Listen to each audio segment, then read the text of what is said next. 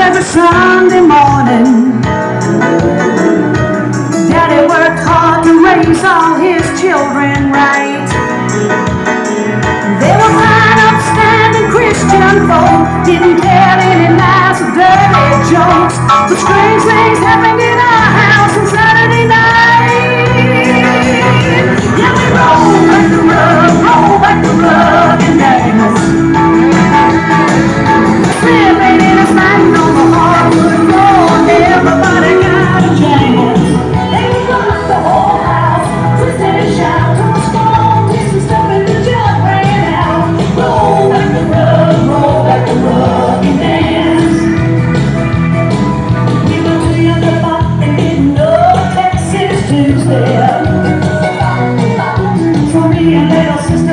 and